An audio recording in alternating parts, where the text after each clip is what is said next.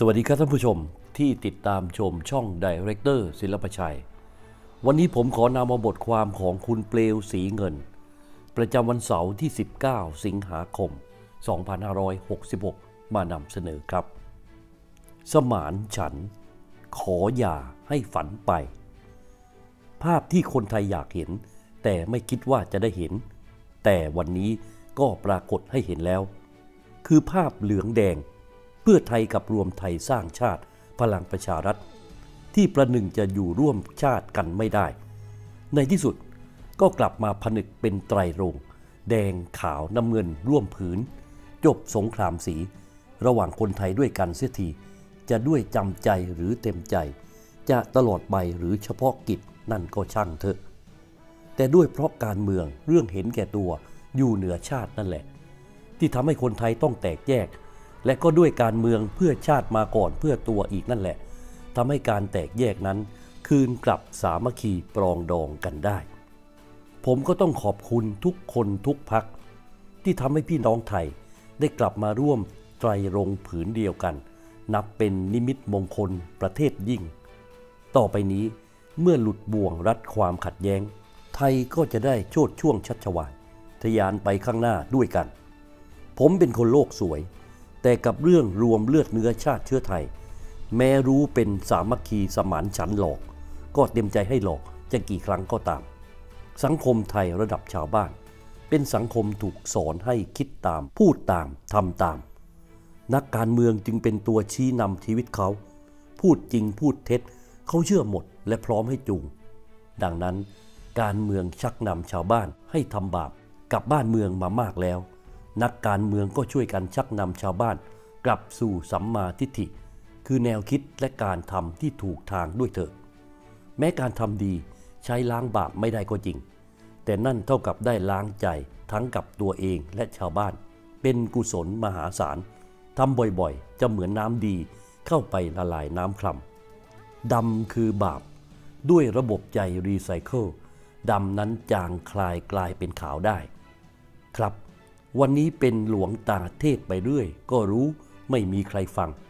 แต่การคิดสู่เขียนมีหนึ่งละคือใจผมเตือนใจตัวเอง อีกสามวันคืออังคาร 22 สิงหา ท่านประธานรัฐสภา นายวันมัวหมัดนอมัทาเคาะแน่นอนแล้ว ประชุมโหวตเลือกนายก เพื่อไทยแกนจัดตั้งรัฐบาลสมานฉันท์กี่พักผมจำไม่ได้จำได้แต่มีเสียงรวม 314 เสียง ยืนยันเสนอเศรษฐาทวีสิน ให้รัฐสภาโหวตเป็นนายก ฝ่ายเพื่อไทยมี 314 ก็ต้องได้สวยกมือให้อีก ราวๆ 61 มือนั่นแหละ จึงจะมากกว่ากึ่งหนึ่งของทั้งสองสภา คือ 375 เสียงขึ้นไป แต่ได้ยินเพื่อไทยบอก รอบนี้มั่นใจม้วนเดียวจบแน่ ฟังดูก็น่านะ เพราะมีทั้งพลังประชารัฐของลุงป้อม และรวมไทยสร้างชาติของลุงตู่สมัครสมานสามัคคีร่วมเพื่อไทย แต่ผมว่ายังครึ่งครึ่ง เพราะภาพลักษณ์นายทุนผู้อาหารการของนายเศรษฐา บวกกับที่นายชูวิทย์ขุดเรื่องมาแฉ จึงมีสวสายแข็ง แสดงท่าทีในลักษณะว่า เศรษฐาเปื้อนสีเทาที่ต้องมีการฟอกชำระให้ขาวสะอาดก่อน แต่ท่านประธานวันนอประชุมตัวแทนฝ่ายสวสส และฝ่ายจัดตั้งรัฐบาลเมื่อวาน 18 สิงหาคม ได้ผลสรุปว่า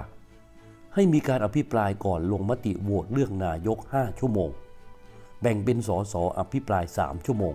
สว 2 ชั่วโมง จากนั้นจะโหวตกันตอน 15 นาฬิกาคือบ่าย 3 โมง ขานชื่อลงมติ นับคะแนนกันเสร็จสับ ก็จะรู้ผลเศรษฐาสอบได้สอบตก ราวๆ 17 นาฬิกา 30 นาที คอการเมืองก็เปิดโทรทัศน์ช่อง 10 รัฐสภา ตามดูตามฟังได้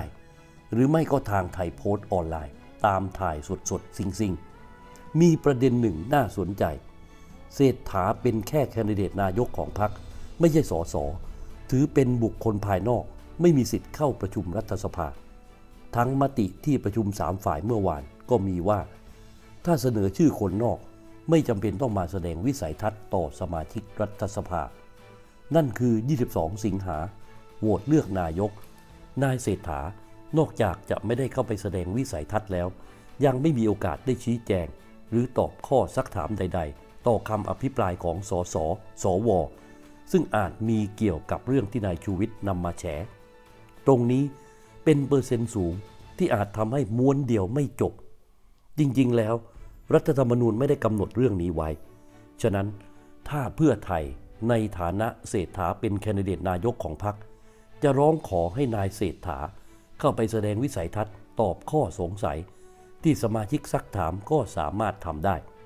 อย่างตอนกลุ่มไอรอยื่นร่างรัฐธรรมนูญ ฉบับประชาชนในสภาสมัยที่แล้ว ก็ยังให้ในายใจอึ้งพากรนายยิ่งชีพอัจฉานนท์เข้าไปในฐานะผู้ชี้แจงได้ ก็นั่นแหละ ขึ้นอยู่กับนายเศรษฐา พร้อมมั่นใจ ในความโปร่งใสของตนว่าทำธุรกิจตรงไปตรงมา ชี้แจงข้อกล่าวหานายชวิตได้ชนิดเคลียร์คัดจัดเต็มขนาดไหน แต่รายการจัดตั้งรัฐบาลของเพื่อไทยรอบนี้ ถึงพลังประชารัฐจะประกาศ 40 เสียง เทให้ชนิดไม่มีเงื่อนไขก็จริง แต่ดูแปลกแปร่งชอบกล 1. ลุงป้อมธรรมนัสเก็บตัวเงียบ ไม่พูดไม่แอะใด ๆ ทั้งสิ้น 2. ไผ่ลิก มือขวาธรรมนัสเป็นตัว action แทน และ 3. แต่ละพรรคร่วมเพื่อไทยจะเชิญแถลงร่วม ให้ปรากฏต่อสาธารณะเป็นทางการ ยกเว้นพลังประชารัฐ มีไผ่ลิกออกมาพูดเป็นตัวแทนพรรคคนเดียว ไม่มีการเชิญลุงป้อมหัวหน้าพักธรรมนัตเลขาพักแถลงร่วมเป็นทางการแต่อย่างใด ไม่แปลกแต่จริง เพื่อไทยเล่นซ่อนไพ่หรือลุงป้อมเป็นไพ่ปริศนาในเกมนี้ ผมอาจคิดมากไปเองก็ได้ แต่ไม่เป็นไร เห็นว่า 21 สิงหา ทักษิณจะกลับมาเข้าคุก ผมจะแวะไปเยี่ยมแล้วกระซิบถามดู ยังไงยังไง ผมก็ยังมั่นใจไม่ลงว่า 22 สิงหาเศรษฐาจะได้เป็นนายก ทั้งที่ใจจริงในภาพรวม อยากให้มีรัฐบาลสมานฉันท์เข้าบริหารราชการงานเมืองเร็วๆก็ตาม แต่เหมือนผีหาซาตานก้าวไกลกายแก้วเข้าประทับทรง เพ่งกี่รอบกี่รอบ มันก็ไม่ปอก็อนี่แหละ เป็นหน้าลอยอยู่ในอ่างน้ำมนต์ยังไงยังไง ก่อนตุลา ทุกอย่างทั้งนายกทั้งคอรมอประกอบเป็นคณะรัฐบาล น่าจะได้เข้าบริหารประเทศสืบต่อรัฐบาลนายกประยุทธ์ แต่ใครเป็นหัวหน้ารัฐบาลก็ยังหน้าปวดกระบาลอยู่ ดูปฏิกิริยาประชาชนช่วงนายกประยุทธ์จะต้องลาจาก สังเกตอาการหนึ่งที่เกิดกับชาวบ้านคือ จะรู้ว่าเป็นของมีค่า ก็ต่อเมื่อของนั้นหล่นหาย ตอนอยู่ก็รุมด่า รุมไล่ 8 ปีไม่เห็นมีอะไรทำประเทศล้าหลัง ชาวบ้านจะอดตายกันไปหมดแล้ว ตอนใกล้จะไป โน่นก็ลุงตู่สร้างไว้ นี่ก็ลุงตู่ลงมือไว้ นั่นก็ลุงตู่ให้ไว้ ไม่อยากให้ลุงตู่ไปเลย ลุงตู่จะไปก็ใจหาย อยากให้ลุงตู่อยู่นานๆ บ้านเมืองจะได้พัฒนาก้าวหน้า ลุงตู่ไป หลายอย่างที่เริ่มไว้ รัฐบาลใหม่เขาจะทำต่อหรือไม่ก็ยังไม่รู้ ทองในท้องพระคลังของหลวงตาพระมหาบัว จะยังอยู่ดีต่อไปหรือไม่ เงินคงคลังจะไม่ถูกลากออกมาพล่าผลาญสนองนโยบายแจกจ่ายมัดใจเลือกตั้งครั้งต่อไปหรือไม่ ชาติศาสตร์กษัตริย์จะมั่นคงอยู่ดีสืบไปหรือไม่ ผมตอบไม่ได้ ต้องไปถามรัฐบาลสมานฉันโน่นวันเสาร์ ที่ปลายซอย ศิลปชัยเดลี่ เรามีเรื่องราวดีๆ ของคุณเปลวสีเงิน มานำเสนอทุกวัน สวัสดีครับสำหรับผู้ที่ชื่นชอบกระเป๋าผ้า ซึ่งทำจากผ้าทอญี่ปุ่น และผ้าลิขสิทธิ์ เน้นความประณีตสวยงามอย่างมีระดับ เป็นงานทำมือ นับได้ว่าเป็นงานหนึ่งเดียวในโลก